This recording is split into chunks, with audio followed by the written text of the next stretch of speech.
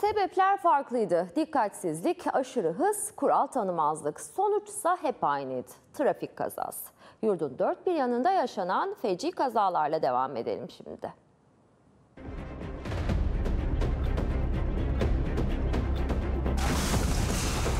Koca otobüsü görmedi. Ara sokağa girmek için bir anda direksiyonu kırdı. Sıkıştırdığı otobüs elektrik trafosuna çarptı. Bursa'da yaşanan kazada otobüsteki yolcular neye uğradığını şaşırırken trafik canavarı hiçbir şey olmamış gibi yoluna devam etti. İstanbul'da dikkatsiz sürücü dört yol kesişiminde polis aracına çarptı.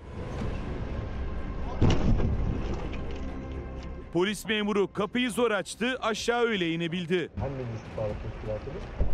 Öyle hızlıydı ki frene dokunmasıyla araç kontrolden çıktı. Silivri'de yaşanan feci kazada şans eseri kimsenin canına zarar gelmedi. Direksiyonu çevirdi ama düzeltmeyi unuttu. Doğruca gidip bahçe duvarına çarptı. Tuhaf kazanın adresi Maltepe'ydi. Kontrolsüz manevra Sivas'ta da kazayla sonuçlandı. Bisikletli 16 yaşındaki çocuk otomobile böyle çarptı. Metrelerce uzağa uçan yaralı çocuğun yardımına çevredekiler koştu.